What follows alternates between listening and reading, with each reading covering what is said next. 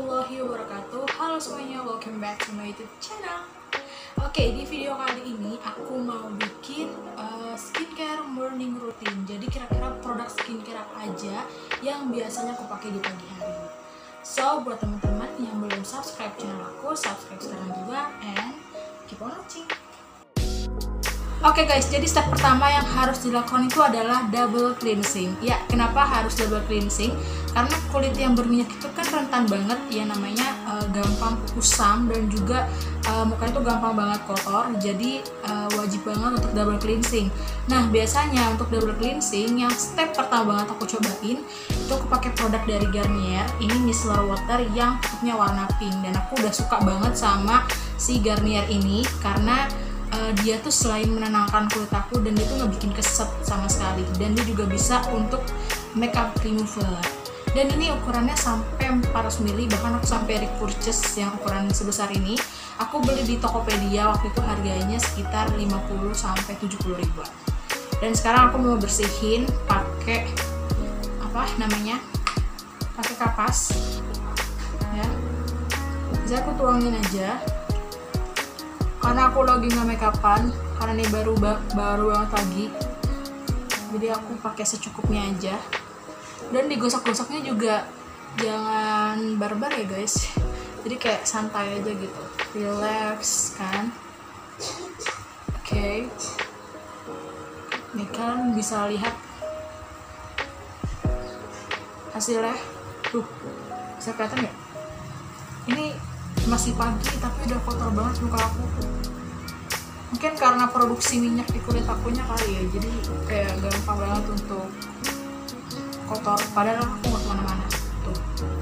Dan aku biasanya pakai dua kapas untuk uh, ngebersihin sisa-sisa yang tadi.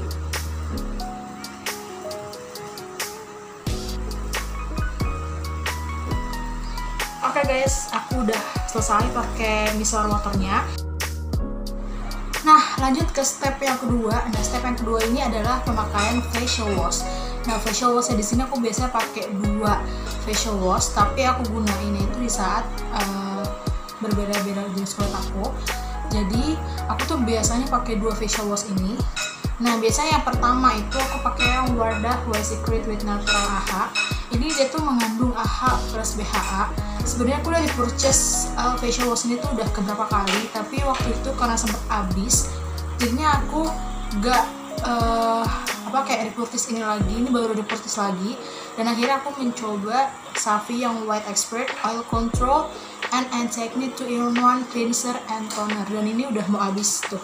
Kalau misalkan kalian bisa lihat ini tuh udah mau habis karena emang itu suka itu dan teksturnya itu gel sama-sama gel keduanya tapi menurut aku yang lebih ampuh buat mengontrol sebum minyak itu si Safi ini. Tapi kalau untuk kayak membantu menghilangkan jerawat-jerawat kecil itu lebih ampuh sih Wardah White Secret nah guys jadi aku mau pakai sabun muka dulu and I'll be back. Oke okay guys, jadi aku udah selesai pakai face wash dari Safi. Dan step yang ketiga adalah pemakaian hydrating toner jadi yang step ketiga ini adalah pemakaian hydrating toner. Nah, hydrating toner ini adalah fungsinya untuk melembabkan kulit wajah aku. Nah, biasanya itu bisa dipakai setiap pagi dan malam. Dan produk yang aku pakai adalah dari Hada Labo ini yang Glow Kujun ya, light lotion Glow Kujun yang warnanya hijau. Jadi yang warna hijau ini khusus untuk kulit yang berminyak. Dan aku mau buka, aku pakai pakai tangan aja, pastiin tangan kalian tuh bersih dan kita usap-usapin aja pelan-pelan secara merata. Dan ini tuh bener-bener melembabkan banget karena dia mengandung tiga jenis hyaluronic acid yang di mana bagus banget buat membantu melembabkan kulit wajah so ini dia hasilnya. Dan step yang keempat adalah pemakaian essence Oke okay guys, di step keempat ini adalah pemakaian essence. Sebenarnya pemakaian essence ini tuh kayak kalian bebas sih kalian mau pakai essence atau enggak itu terserah kalian. Tapi kalau aku, aku prefer lebih pakai essence itu karena dia ngebantu banget memperhalus kulit wajah aku pertama terus yang kedua dia tuh membantu mencerahkan kulit wajah aku nah kira-kira produk essence yang aku pakai itu dari Wardah White Secret ini yang apa series White Secretnya. Ini yang isinya 50 ml harganya kalau nggak salah 60 ribuan. Dan ini tinggal dikit karena memang ini tuh sebagus itu esensnya dan ini tinggal pakai aja dan ini tuh bisa dipakai setiap pagi dan malam. Jadi kayak apa bisa dipakai pagi malam lah bebas. Seperti biasa pemakaiannya seperti toner. Tapi dia ini teksturnya lebih apa ya lebih kental sedikit dibandingkan toner yang tadi pakai gitu. Dan ini memang bagus banget si esensnya dia emang agak sedikit masih lengket di kulit tapi no problem karena ini emang seperti ini. Nanti juga dia nyerap lagi di kulit.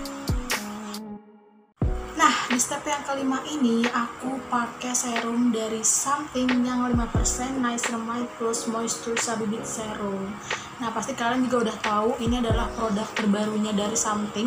Tapi aku baru coba yang 5% karena aku takut gak cocok, tapi ternyata aku cocok banget sama Something ini. Nah, ini bisa dipakai setiap pagi dan malam dan all skin type bisa pakai serum ini. Tapi kalau aku pribadi lebih prefer dipakai di pagi hari karena kalau malam biasanya aku pakainya yang makuci. Oke, seperti biasa kita ambil lihat ya ini tuh teksturnya kental banget nih tuh feeling kental banget. Dan sini aku biasanya taruh di sini aja sih. Nih di sini di kapak tadi punya tangan biasa aku pakai dua tetes. Dan itu tekstur. Teksturnya tuh kayak gel gitu. Tuh. Ini enak banget pokoknya. Kita baurin. Baurinnya juga pelan-pelan jangan barbar. Jadi kayak santai aja gitu ya dan dia tuh gampang banget meresap di kulit wajah Oke okay guys, kita masuk ke step yang keenam yaitu pemakaian moisturizer. Nah, pemakaian moisturizer ini wajib banget dipakai untuk semua jenis kulit. Jadi, nggak dikhususkan untuk kulit yang kering, tapi kulit berminyak juga harus wajib pakai moisturizer. Dan biasanya moisturizer ini dipakai setiap pagi hari. Dan produk yang aku pakai ini dari Wardah Nature Daily Which Hazel Purifying Moisturizer Gel. Ini aku udah sering banget pakai uh, si Wardah Nature Daily ini sebagai pelembab aku yang warna kuning karena memang ini bagus banget untuk kulit yang berminyak. Dan ini tuh isinya 20 ml, harganya murah banget. Ini masih di sekitar 20 ribuan harganya. Dan kita sekarang tinggal pakai aja. Nih, dia tuh teksturnya kayak krim, krim krim gel water gitu warna hijau. Jadi kita pakai ya. Pelan-pelan aja pakainya. Oke ini kita pakai ke seluruh muka kita dengan rata ya guys. Oke lihat deh. Tuh muka aku setelah pakai pelembab jatuh lebih sehat dan bahkan lebih kayak kelihatan glowing. Ini kan glowingnya kayak guys. Ini glowing dari si pelembabnya. Gimana Nah guys, kita masuk ke step ketujuh yaitu pemakaian sunscreen. Nah walaupun uh, kita sekarang ini lagi di masa pandemi ya kan, uh, kayak nggak ke mana-mana, kita juga tetap harus pakai sunscreen walaupun di dalam rumah aja karena ternyata sinar UV itu bisa masuk loh ke dalam rumah kalau misalkan kita nggak pakai perlindungan sunscreen. Dan biasanya produk sunscreen aku pakai ini Wardah yang SPF 30. Kalian juga pasti udah tahu sama sunscreen yang satu ini karena ini tuh udah terkenal di mana-mana dan udah viral juga. Dan itu harganya kalau nggak salah sekitar 40 ribuan ya. Dan ini luarannya tuh sunscreennya teksturnya krim gitu. Nah karena memang aku nggak ke mana-mana jadi kayak cuma di rumah aja aku nggak pakai dua ruas jari. Sebenarnya kan harusnya dua, dua ruas jari cuman aku di sini pemakaiannya nggak dua ruas jari guys karena hanya di rumah aja. Gitu. Dan kita langsung aja. Ya kita apply ke muka ke seluruh muka kita dengan rata jangan sampai setengah-setengah.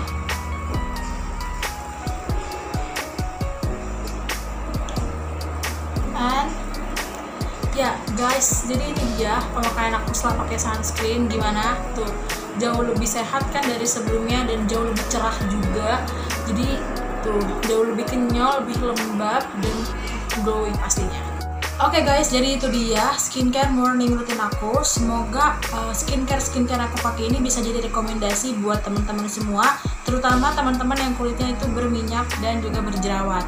Tapi for your information, ya kalau misalkan skincare yang cocok di aku itu juga belum tentu cocok di kulit kalian jadi teman-teman harus pinter-pinter nih cari produk-produk yang memang sesuai dengan jenis kulit teman-teman dan permasalahan kulit teman-teman Oke okay guys, jadi sekian dulu video dari aku. Kurang lebihnya mohon maaf and see you next time for my video and bye bye.